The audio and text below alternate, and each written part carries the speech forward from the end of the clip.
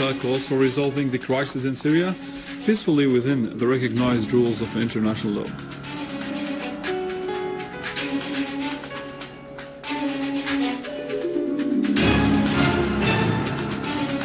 Syrian armed forces restore security and stability to several areas and continue to target terrorist hideouts.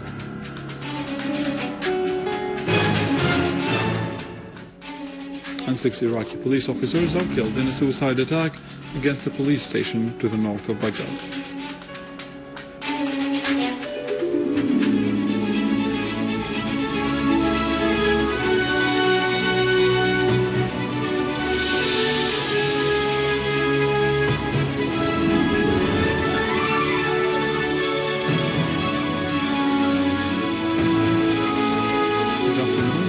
English from the Syrian television in Damascus.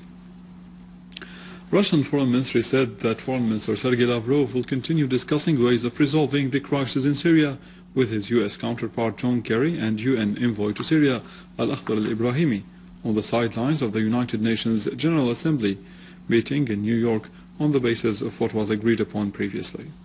The ministry issued a statement in which it called for settling the crisis in the Middle East within the framework of the recognized rules of international law uh, with respecting the state's sovereignty and the territorial safety without foreign interference and through launching internal political dialogue, adding that this fully applies to the crisis in Syria. The ministry said that Lavrov will hold a number of bilateral meetings and participate in other several meetings such as the BRICS foreign ministers meetings, the International Quartet meeting for the committee, sorry, for the Middle East affairs, and the Six Major Powers meeting on Iran's nuclear program. The statement added that the Russian delegation will continue to work actively with respect to the subject of priority for the Russian Federation and the issues on the General Assembly's agenda, which tackled combating the spread of the arming race and enhancing transparency and confidence measures in this field as well as guaranteeing the security of international media. Chairman of the Russian Duma's Foreign Affairs Committee, Alexei Pushkov, stressed that the wave of violence Iraq is witnessing is a direct result of the United States occupation, warning against a similar scenario in Syria. Russia Today website quoted Pushkov as posting on Twitter that US President Barack Obama was against the war on Iraq, adding that Obama should clearly tell if he wants the Iraqi chaos in Syria, but he still remains silent.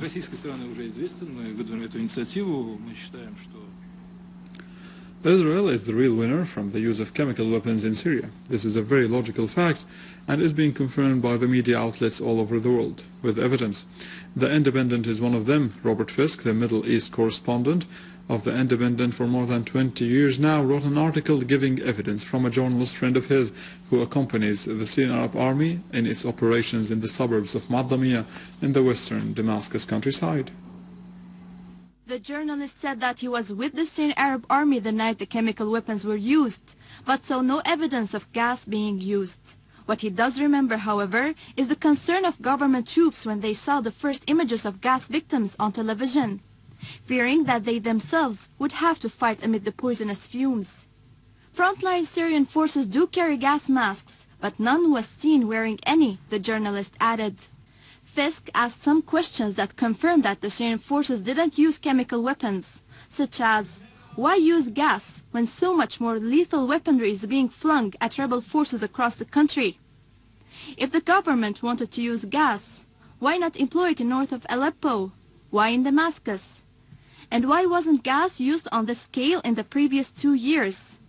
And why employ such a dreadful weapon when the end result is that Syria, by giving up its stocks of chemical weapons, has effectively lost one of its strategic defenses against an Israeli invasion? Finally, Fisk concludes that Israel is the real winner after all, and that it benefits not only from the chemical weapons use incident, but also from the bloody war in Syria. Units of the Syrian Arab Armed Forces destroyed weapons and ammo of terrorists in Qobtan al-Jabal north of An-Nairab camp and east of Deir Hafir, killing and wounding a huge number of them in addition to destroying four vehicles along the road between Al-Bab and Deir Hafir, eliminating all the terrorists inside.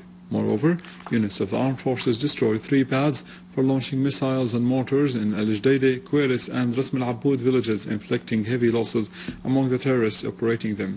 In Aleppo eastern countryside, units of armed forces confronted terrorists who were attempting to attack Al Adnaniya village and killed scores of them.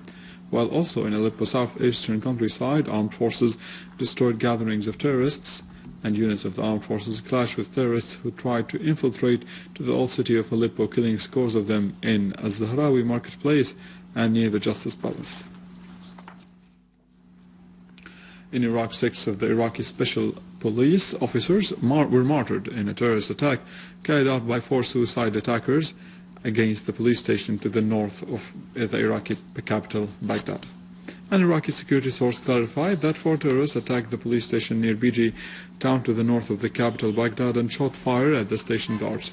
The exchange of shooting resulted in the killing of one of the attackers as the other three blew themselves up after the arrival of the army's enhancements and reinforcements to the place to attack, which led to the martyring of six Iraqi police officers. The source added that four terrorists were wearing the Rapid Deployment Forces uniform, which made the attack easier on them. Going to Turkey, where a police compound in the Turkish capital Ankara was struck by three rockets. Two buildings belonging to the National Police Directorate in the district of Dikmen were hit, but no one was hurt, and the third fall fell into the grounds. Dikmen is one of the places across Turkey where anti-government protests have flared up in recent months. Meanwhile, Erdogan's forces arrested 11 demonstrators in Istanbul after dispersing a protest that took to the streets denouncing Erdogan's policy at the internal, internal and external levels. Thousands of Bahrainis took to the streets to denounce oppressive measures and unprecedented security escalation exercised by Al Khalifa regime and the Bahraini people against the Bahraini people and to demand the release of political prisoners. The demonstrators denounced the decision taken by Al Khalifa regime to close the Islamic Religious Council, asserting that such escalation will make the Bahrainis more determined in their demand for democracy, justice and equality. Moreover, masses took part in the sit-in in Al Hurriya Square west of the capital Al Manama that also witnessed mass night demos despite strict measures imposed by Al Khalifa security authorities.